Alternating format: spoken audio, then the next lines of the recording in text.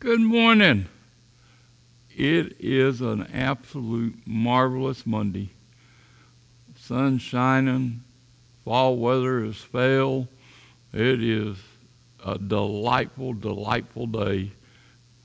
God is doing great and mighty things. we were so encouraged yesterday. God's laid a word on my heart about it being an encourager. It goes right along with what the day we had yesterday. So stay tuned. Be reading out of Hebrews and talking about being an encourager.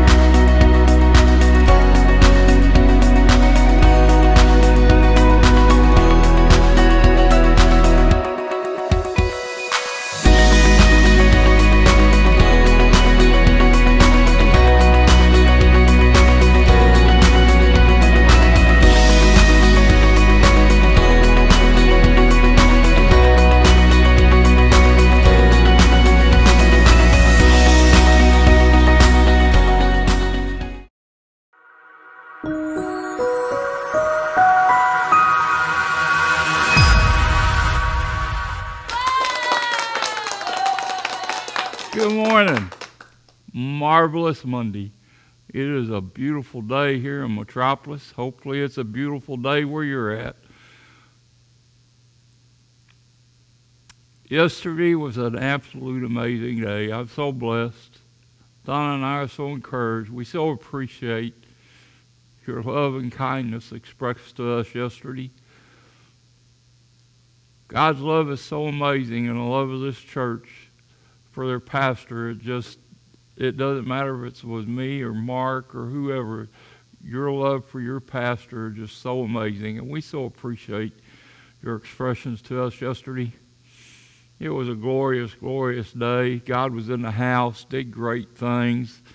We're so thankful you're joining with us online. And uh, like I said, it just yesterday evening with our fellowship, Fifth Sunday fellowship at the campground, we had an awesome crowd uh, just an awesome night. He had a fire raging and roasted hot dogs and marshmallows and sat around and sang songs and it was just an absolute amazing day and we're so blessed that God is doing great and mighty things through us and it's not over.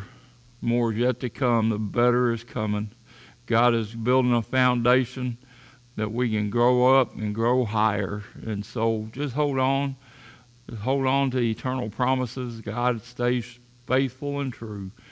And it's so amazing, so amazing, His love and His mercy and His grace. So uh, I'm so blessed. Like I said, last night after everybody left, Donna had went through the cards and after everybody left, I went in and sat down at a table in the camper and started going through, and your it just your love and your kindness it, it, it's just overwhelming. We're so thankful. God called us back home. So we're we're we're here. God's here. You're here. We're so thankful. Just uh, I'm going to read out of Hebrews and talk about being an encourager. And you so encouraged this pastor yesterday and his wife. So we thank you. And so, reading out of Hebrews chapter 3, verses 1 through 14. And it says, So, dear brothers and sisters, you are now made holy, and each of you invited to the feast of your heavenly calling.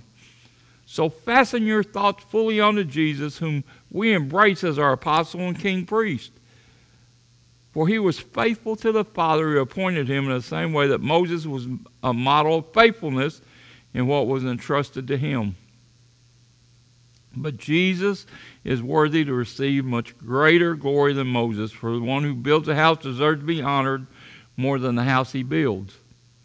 Every house is built by someone, but God is the designer and builder of all things. Indeed, Moses served God faithfully in all he gave him to do. His word prophetically illustrates things that will later be spoken and fulfilled. But Christ is more than a servant. He was a faithful as a son in charge of God's house. And now we are part of his house if we continue courageously to hold firm to our bold confidence and our victorious hope. This is why the Holy Spirit says, if only you would listen to his voice this day. Don't make him angry by hardening your hearts like your ancestors did during the days of their rebellion when they were tested in the wilderness. There, your fathers tested me and tried my patience, even though they saw my miracles 40 years and they still doubted me. They ignited my anger with that generation, and I said to them, They wander in their hearts just like they do with their feet, and they refuse to learn my ways. My heart grieved over them, so I decreed they will not enter into my rest. So search your hearts every day, my brothers and sisters, and make sure that none of you has evil or unbelief hiding within you, for it will lead you astray and make you unresponsive to the living God. this is the time to encourage each other, never to be stubborn or hardened by sin's deceitfulness. For we are mingled with the Messiah if we continue unshaken in this confident assurance from the beginning until the end. When we think of encouragement, many times we look at it as sometimes actually an option. However, encouragement is so important to the church, God didn't merely recommend it, He explicitly commands it. God commanded His people to encourage each other because He knows we need it. In the Gospel of John, Jesus warned that, that in this world you will have trouble, which he then followed with a much needed encouragement. But take heart, I have overcome the world. John 16 33. We live in a broken world where everything calls us towards selfishness and despair. Sin steals our joy. Our bodies break down, our, our plans falter, our dreams die, and our resolves weaken, our perspective dims. We are promised suffering, persecution, and trials of various kinds. When encouragement is absent from the life of the church people, we feel unloved, unimportant, useless, forgotten.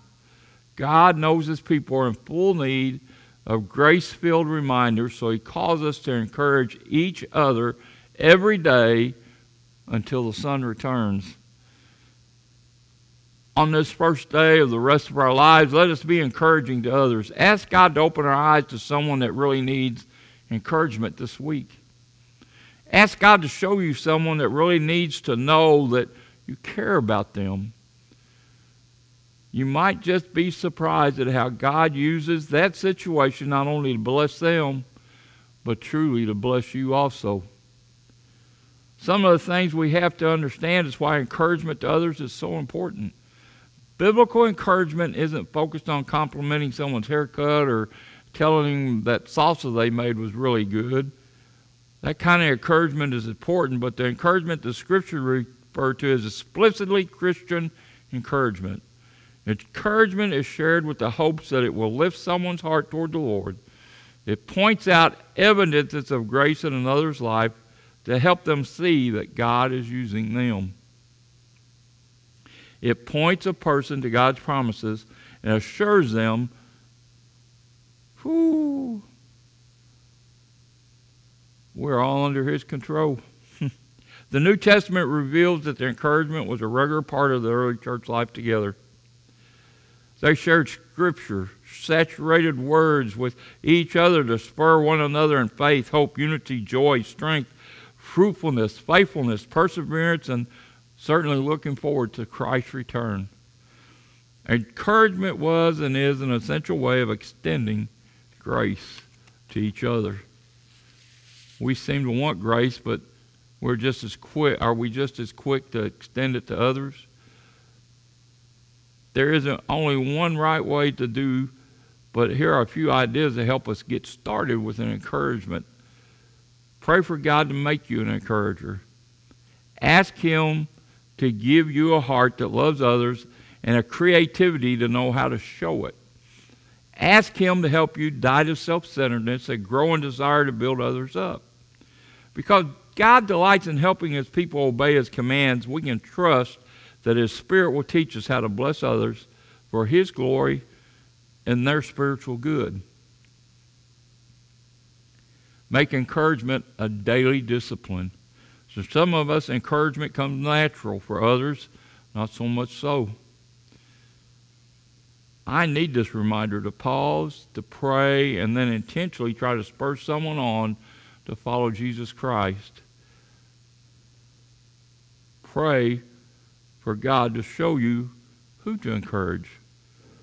Ask God to bring someone to your mind that you should reach out to. One way to do this is maybe praying through our church's membership directory. Use Scripture. Nothing encourages like the promises from God's Word. Make a list of scriptures that God used to bless you personally, or an excerpt from something you read in your daily devotion. Be specific in what you say. Make sure you stay in touch with God and provide them with specific encouragement for what they are facing today. Nothing encourages a pastor like hearing specific ways God used a sermon to work in their life. You are so encouraging to this pastor. I tell you, there's not a service goes by that some several of you will tell me it was a blessing. I, it, it is a blessing to be a servant in this church. Pray that God would create a culture of encouragement in your church. Ask God to make your church a community that loves each other in specific tangible ways like encouragement. Ask God to use you to help fan that flame. Don't get discouraged if people don't return your encouragement or if you don't see fruit from it. Creating a church culture that glorifies God takes a long time, lots of prayer, and abundant grace. I encourage us to keep at it. Many scriptures exhort believers to encourage one another. And yet, sometimes we get so busy in our lives we neglect thinking about others. We may become insensitive to the concerns of those around us. So, how can we be a better encourager? First step may be to ask God to help us to be less self focused and more sensitive to the needs of others. And then we need to ask His wisdom in knowing how to encourage our brothers and sisters in Christ. Sometimes it takes a listening ear just showing we care by really listening to what they have to say. They might have a problem or an idea and they hesitate to move ahead with, but and sometimes there's special challenges. Just knowing that someone values them enough to listen can really be an encouragement. Perhaps they need words of encouragement. Nothing can be more encouraging than God's word shared from a loving heart. Maybe they need to show maybe they need to show us faith in them with action. As we prayerfully approach them, God will guide. As you consider these thoughts, does someone come to your mind? Someone who may need encouragement? Pray. Take action. Call or meet for coffee or dinner or just sit down and have a heart to heart. Find out what's on your friend's mind, listen to them, and share God's word. Demonstrate your confidence in them. Day by day, ask God to help you get out of your box and get out into this world and find ways to encourage others.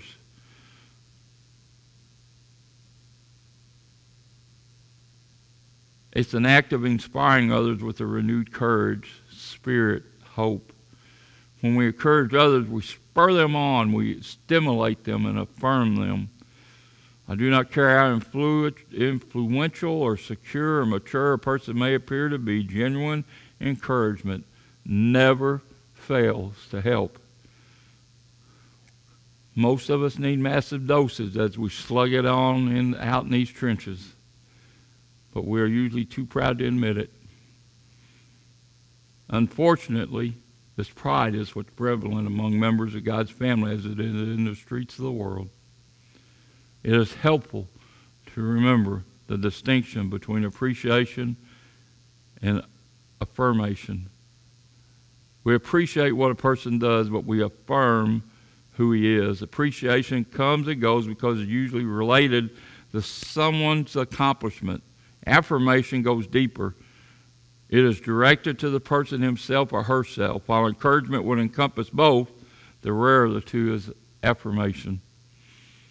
All of us need encouragement, somebody to believe in us, to reassure and enforce us, to help us pick up the pieces and go on to provide us with increased determination in spite of the odds. What our text today reminds us, we can't do this alone. One of the issues that continually face believers is the idea that we, we're okay by ourselves. Oftentimes we think that we, we don't need others. Christians, in order to progress in our spiritual growth, however, when we provide encouragement to each other, it gives us the courage to persevere in our faith. There's someone in your life that really needs to be encouraged. They walk in a relationship with Jesus. As the challenge has been this week, we are all in need of encouragement. Look for who God wants you to encourage. So let's get started. Who can you encourage right now? Who has blessed you recently that you can thank them? What verse can you share with them? What might God be able to use you to help them with? May the Lord do more than we can imagine through just a little encouragement. As I said, I was so encouraged this weekend. It was a blessing. The whole weekend was just a blessing from start to finish. God was in the house, stirring hearts, doing great and mighty things. His Spirit is moving. We so look forward to this upcoming weekend with our pastoral candidate and his wife coming in. Hey, there's nothing too big for God. Reach out. There's somebody today, this week, that needs to hear a thank you or a bless you. Or you're doing good. Keep up the good work. Let's be encouragers. Let's encourage one another. We can make it. We're going to make it with Jesus Christ. Father, I thank you and I praise you, God, for this day. I thank you, God. I thank you for my family. I thank you for my church family. I thank you, Lord, for the wonderful things you're doing. Father, help me to be an encourager. Help me to say those words of kindness, to say those words of understanding. Father, you, you, you help me to be in the places you want me to be and to help those people that need to know Jesus Christ as Lord and Savior. Father, it is so important that as we go about our daily lives, we hide your word in our heart. We may not sin, but we need that word hidden also that we can use it at the needed times to share your love and your mercy and your grace. God be with us through this week. Help us, direct us, and guide us. We'll give you all the praise and glory in Jesus' name. Amen. Hey, it's a glorious day. It's a beautiful day. The fall weather is awesome. All right, so we just had a great crowd last night come out for our fellowship, and we had a great time. I so enjoyed the presence of the Lord, and uh, it, it's just a glorious day. So, like I said, we got a busy weekend. Our pastoral candidate, Brett and Stacy Ladlow will be with us this weekend, and so so looking forward to what God's going to do. So be in prayer, be uplifted, and be an encourager. Because you know what? We're going to make it with Jesus, and the lights are still on at the lighthouse. Have a blessed day because you are a blessing.